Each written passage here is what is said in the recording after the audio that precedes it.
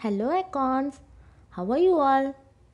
We had uploaded a topic in MindSpark, and since we know our school's culture to work, we should not postpone any work. And I hope all of you have completed the MindSpark topic.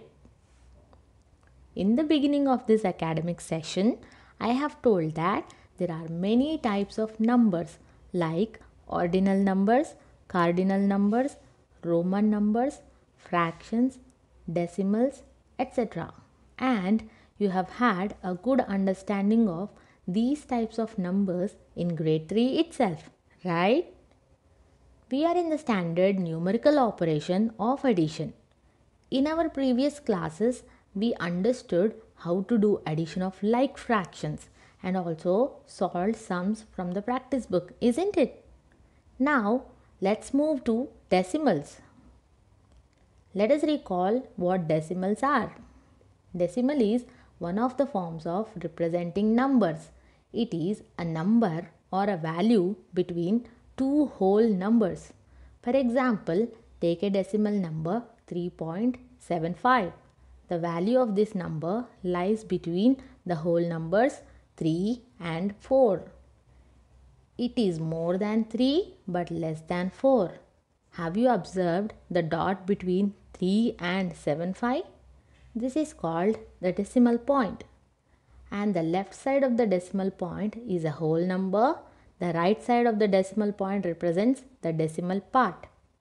Like how we have different place values in numbers, decimals also have place values.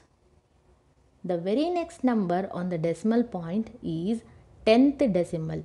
Then comes hundredths place and then thousandths place and so on.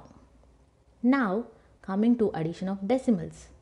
Though it is decimal addition, it is exactly like addition of whole numbers.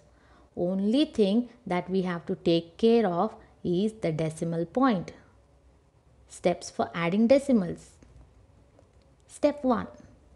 Write down the numbers one under the another with the decimal points lined up.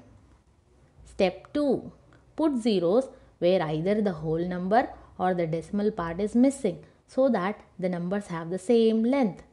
Step 3. Then add using the column method of addition. Remember to put the decimal point in the answer. Let us take an example of adding the decimals. Add 1.452 to 1.3. Line the decimals up using the decimal point. Then in the step 2, write the zeros where the numbers are missing either in the whole part or the decimal part. Here, since 1.3 does not have the complete numbers as in the first number, we add extra zeros. Now add using the normal addition method and remember the decimal point. So the final answer is 2.752. Let us take another example. Add 3.25, 0.075 and 5. We follow the steps as usual. Line the decimals up. Then pad with zeros to make the same length. So the first number 3.25 doesn't have an extra zero in the thousandths place so we add a zero.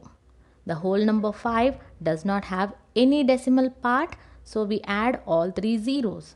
Then add using the normal column method. The final answer is 8.325.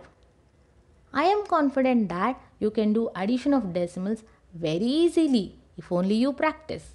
So, are you ready for the task?